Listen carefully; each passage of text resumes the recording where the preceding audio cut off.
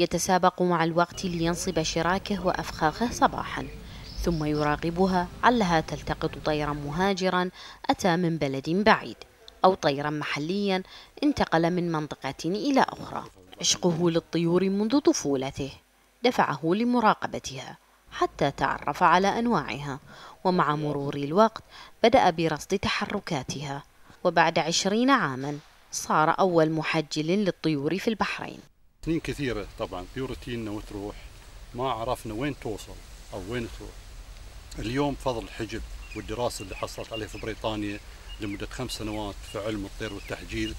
كونا ما يقارب 170 نوع حجلنا وحصلنا على تقارير ما يقارب ال 12 أو 13 تقرير وصل إلى أندونيسيا الهند المالديف باكستان روسيا المملكة العربية السعودية. كم كبير سنويا من الطيور المهاجرة تي بفضل الله حجلنا إلى الآن 170 نوع. وإن شاء الله الجيل بندرب جيل جديد في هذه الهواية للتحجيل ومعرفة الطير. وإن شاء الله آه، مملكة البحرين فيها ناس نشطاء وشباب نشيط آه، قادر على هذه الهواية. تحجيل الطيور المهاجرة يمر بعدة مراحل إذ يقوم المحجل بوضع حلقة معدنية حول ساق الطير.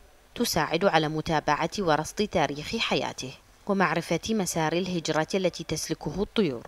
وكل حلقة تحمل معلومات عن نوع الطائر وجنسه وحجمه ووزنه.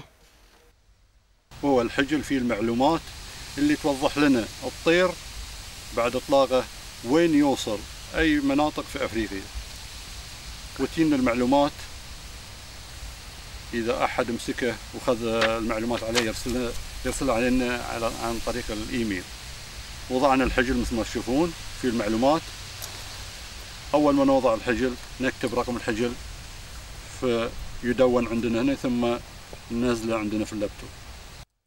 طيور مختلفة أنواعها تحط رحلها في البحرين آتية من بلدان مختلفة. فبعضها بهوية وفئة أخرى تأتي لتحمل الهوية البحرينية وتغادر لتقول للعالم بأنها مرت بأرض الحضارات. خول الجرينيس لمركز الأخبار تلفزيون البحرين.